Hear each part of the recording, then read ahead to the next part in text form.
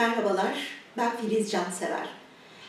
Daha önce yayınlamış olduğum Bu da gelir, bu da geçer videosundan sonra o kadar fazla mesaj aldım ki küçük bir video daha yayınlamaya karar verdim.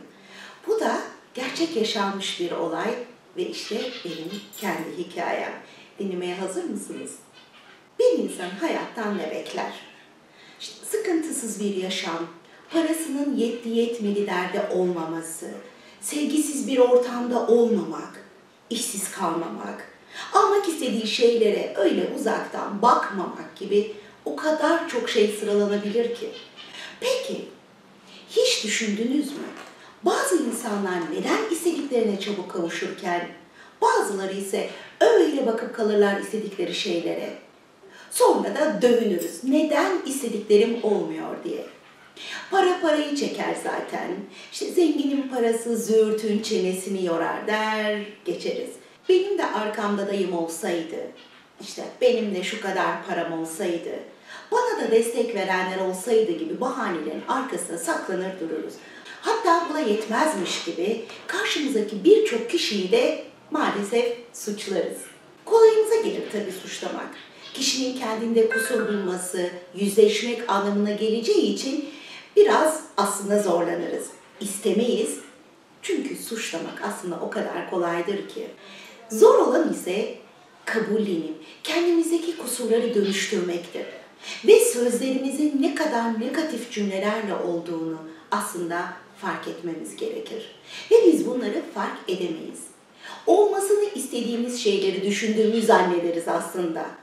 Şimdi ben danışanlarıma ilk önce benden tam olarak ne istiyorsunuz diye sorarım. Tabii onlar da bana sıralarlar. Artık e, derler ki işte bu parasızlıktan bıktım. Kocamın beni aşağılamalarını istemiyorum. İşte hayallerim ellerimde patlamasın artık. İşte bunun gibi birçok cümleler. Onların sözlerini hiç kesmeden dinlerim. Sonrasında tamam ne istemediğinizi anladım. Peki bana şimdi ne istediğinizi söyler misiniz dediğimde öylece kalırlar. Filiz Hanım işte demin söyledim ya derler. Hayır derim. Hayır. Ben sizin hayatta sadece ne istemediğinizi anlattığınız cümleler duydum. Hepsi negatif ve sıkıntı cümleleri.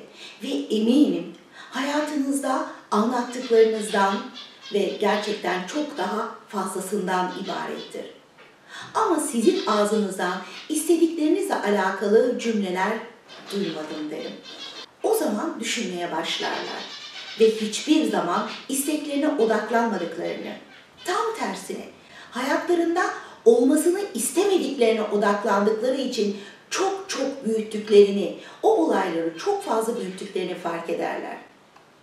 Ve büyük bir şaşkınlıkla ilk seans hep bu şekilde sonlanır.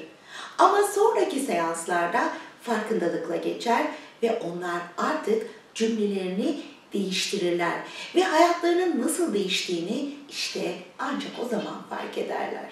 Hiç düşünce yapınızı değiştirmeyi düşündünüz mü? Mesela parasızlıktan yakınmak yerine bolluğa odaklandınız mı? Sevgisiz ortam yerine yüzünüzü aşka, sevgiye dönmeyi düşündünüz mü? İstemediklerinizi düşünmek yerine gerçekten ne istediğinize odaklandınız mı? Saygıları sıralayana kadar rahmenci düşünme yapısını kendinize barındırmayı ve böyle yaşamayı denediniz mi? Benim hayat hikayemi blogumdan okuduğunuzu varsayıyorum. Eğer okumayanlar e, var ve okumak isterlerse videomun altında blogumun linkini verdim. Oradan e, okuyabilirsiniz. Ben şimdi okumuş olduğunuzu varsayarak e, hikayemi şöyle bir gözünüzün önüne getirmemi istiyorum. Gözünüzün önüne getirmenizi istiyorum. Evden kovulduğumda işim ve param yoktu. Ve iki çocuğumun hayatları da bana verilmişti. Ve arkamda kimsenin olmamasına rağmen tutunmayı ve başarı grafiğini yukarı taşımayı, çocuklarımı bütün zorluklara rağmen okutmayı ve bir arada tutmayı başardım. Kanser olduğumu öğrendiğimde kimse yoktu yanımda. Söyleyemedim çünkü. Üzülmelerini ve bana acımalarını istemedim. Ama ben her şeye rağmen kanseri tek başıma yendim. Hayatta en çok arzuladığım yazarlığa da kavuştum. Şimdi ise kalbimin yüzde yirmi çalışmasına rağmen hayata sımsıkı tutunuyorum. Peki ben bunları nasıl başardım biliyor musunuz? Yüzümü sadece istediklerime dönerek, yokluktan ve sıkıntılardan yüz çevirip, bolluğa ve arzularıma odaklanarak, aynı olduğumu düştüğüm her seferinde kendime hatırlatarak, sürekli bir defter yanımda bulundurup neleri istiyorum ve bunları başarmak için neler yapabilirim, bunları nasıl başarabilirim diye notlar alarak, bildiğim ve uyguladığım birçok şifa tekniklerini, NLP tekniklerini kendime de uygulayarak ve tüm bunları yaparken Tanrı'nın beni sevdiğine ve bana meleklerimin yardımcı olduğuna inanarak yaptım. Ve sonrasında bütün bunların insan hayatındaki önemini kavradığımda NLP eğitimlerini tüm insanla sürekli seminerlerle, eğitimlerle, söyleşilerle e, onların da hayatlarında fark yaratmalarına yardımcı olmaya çalıştım. Aslında yapmanız gereken tek şey ne biliyor musunuz? O kadar basit ki. Bütün bunları lütfen sadece deneyin. İlk zamanlarda evet biraz zor olacaktır. Alışkanlıklarınız ve bilinçaltınıza attığınız korkularınız her seferinde hortlayacak ve bize yok o doğru değil sadece zaman kaybı diyecektir. Biz o sesleri dinlemeyin.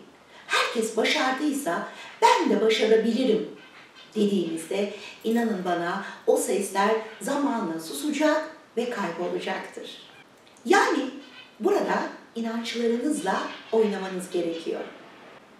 İlk önce bilinçaltına attığınız o negatif cümlelerden başlamalısınız. Olumlamaları sürekli ve sürekli kendinize tekrarlamalısınız. Türkçe'de sevdiğim bir söz vardır. Bir şey 40 kere söylersen olur diye. İşte bizler de her seferinde 21 gün boyunca bu olumlamaları tekrarlamamız gerekiyor. İşte 3-5 gün ara vererek sonra tekrar 21 gün bunları tekrarlayabiliriz. Şimdi tabii ki daha sonrasında bilinçaltınızı nasıl kodlayacaksınız? Hangi olumlamaları nasıl hazırlayacaksınız? Ee, kendinize nasıl uygulayacaksınız? Onları anlatan da bir video çekmeyi düşünüyorum. Ve e, tabii paylaştığım bilgileri kendiniz sesinizle kaydedeceksiniz ve 21 gün boyunca gece yatağınıza yattığınızda, sabah kalktığınızda dinleyeceksiniz. Sonrasında sizinle öyle çalışmalar yapacağız ki yazın sonunda hepimiz arzularını yakalamaya çeyrek kalmış kişiler olarak mutluluğumuzu herkese paylaşıp başarılarımızın tadını çıkartıyor olacağız. Sadece güvenin, isteyin, eylemde olun. Başarı sizinle olacaktır. Sevgiyle ve ışıkla kalın. Hoşçakalın.